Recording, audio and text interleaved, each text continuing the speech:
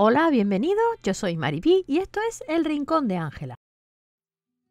En el tutorial de hoy vamos a reciclar una caja de zapatos. La vamos a decorar con decoración masculina para regalar en el Día del Padre, para un regalo o para meter dentro algún regalito. Como veis he tapado el agujerito que tenía con un trocito de cartón y cinta adhesiva.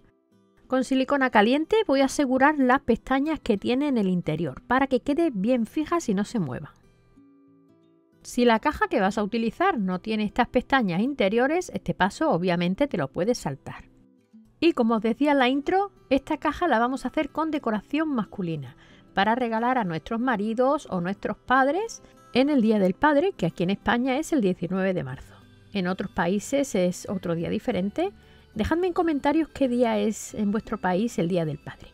Pero así tenéis una idea pues para meter un regalito, que es una idea bastante original, en una caja que luego puede utilizar para guardar cosas o simplemente pues eso regalar una caja bonita porque veréis al final qué preciosidad. Con el papel que suele venir dentro de la caja de zapatos, que es papel de este tipo, lo he cortado en trocitos y con cola blanca lo voy a pegar en las esquinas y en las partes donde hay alguna unión para disimularla. Voy a utilizar la cola blanca, la voy a extender con el pincel y encima voy a poner trocitos de este papel.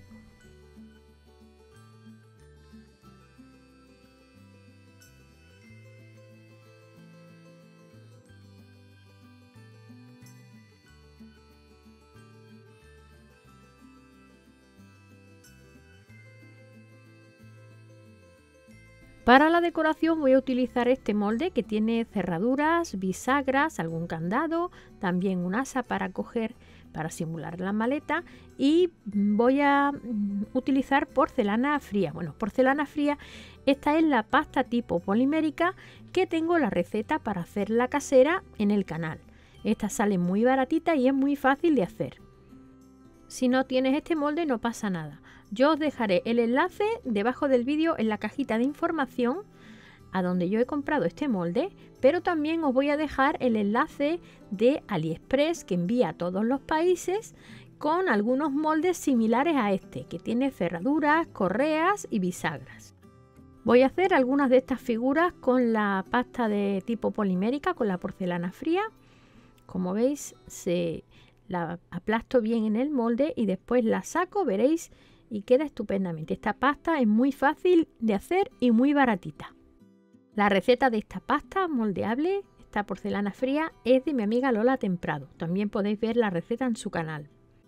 Un truco que tengo para que no se peguen las piezas en los moldes, sobre todo en los moldes de silicona, este tipo de moldes de PVC no, pero en los moldes de silicona se pega muchas veces la pasta y para ello antes con un pincel le pongo un poquito de harina de arroz y de esta forma no se os va a pegar la pasta en los moldes de silicona.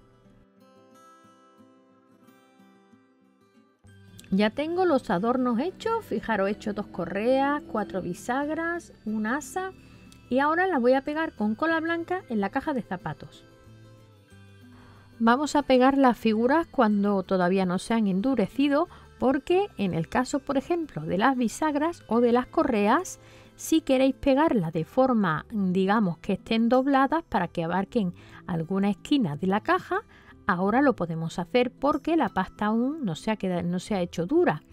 Entonces, si queréis poner, por ejemplo, una correa en la esquina de la caja, pues simplemente tendréis que doblar la masa y pegarla en esa forma, con la cola blanca y como la pasta aún está fresca, pues cuando endurezca se va a quedar dura en forma de ángulo, digamos, si la hemos pegado en una esquina. No sé si me explico bien.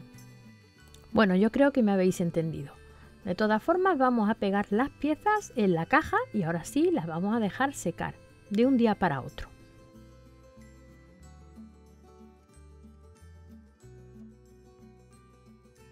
Ya está seca la porcelana fría y ahora vamos a aplicar una capa de pintura a la tiza en color marrón. Con este color vamos a pintar la caja por dentro y por fuera.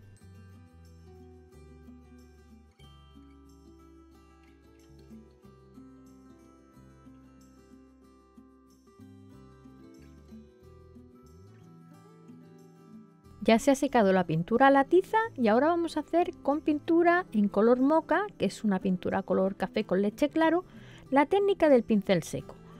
Vamos a darle a las piezas de porcelana fría y a toda la parte exterior de la caja. Y aplicaremos la pintura con la técnica del pincel seco, que ya muchas de vosotras sabréis cómo es, pero la voy a explicar. Mojamos el pincel en la pintura y descargamos un poquito. Dejamos muy poca pintura en el pincel y con esta poca pintura vamos extendiéndola mucho para que quede solamente un pequeño rastro de pintura, que quede poquita, ya que no queremos pintar toda la superficie, sino dejar una sombra de la pintura que estamos utilizando.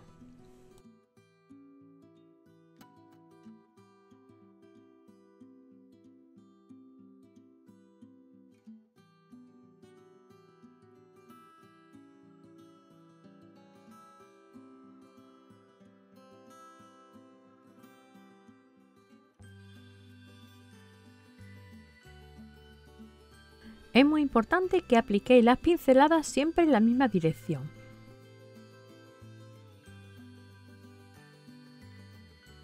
Ahora con pintura acrílica dorada y la técnica del pincel seco vamos a aplicar dorado sobre las superficies de porcelana fría. De esta forma vamos a resaltar todas las piezas. El interior de la caja lo voy a forrar con papel decorado, papel de scrap y cola blanca. Normalmente las cajas de zapatos recicladas que suelo hacer no decoro la parte interior porque la tengo para guardar cosas, pero como esta es para hacer un regalo la quiero dejar bien bonita. Así es que voy a utilizar un papel de scrap que tenía con tonos azules y tonos color melocotón y voy a forrar la parte interior. Para ello he cortado el papel de scrap de la misma medida un poquito, un par de centímetros más pequeño que eh, el fondo de la caja y que los laterales. Si no tenéis este tipo de papel, también podéis forrarlo con cartulina. Para la decoración voy a utilizar esta lámina de papel de scrap. El papel de scrap es un papel muy parecido a las hojas de papel que solemos utilizar para escribir.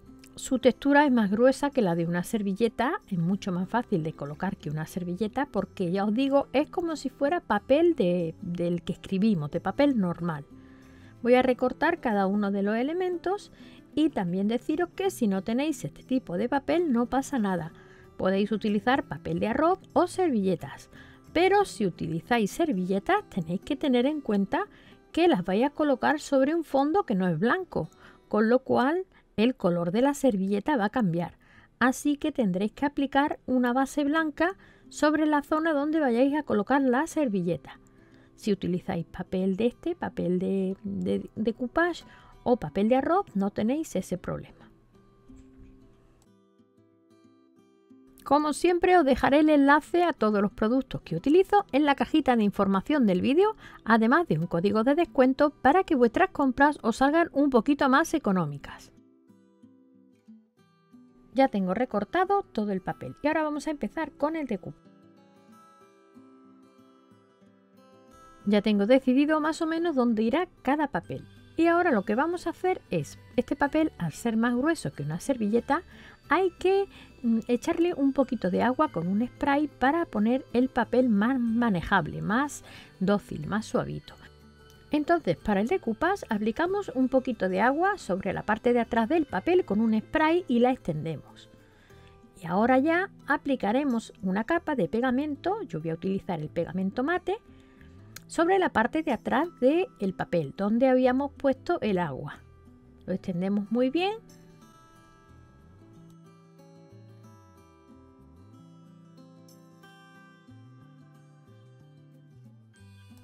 lo colocamos en su sitio. Ahora lo colocamos poco a poco, es decir, no vamos a bajar el papel de una vez, lo bajamos poco a poco y con el pincel mojado en pegamento lo vamos a ir acomodando.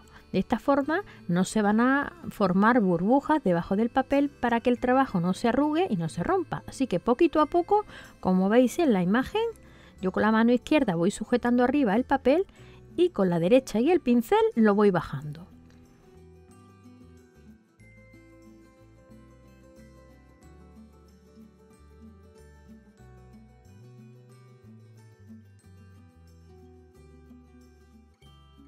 De esta forma voy a ir pegando cada uno de los papeles en su sitio en la maleta, porque esto ya va tomando forma de maleta.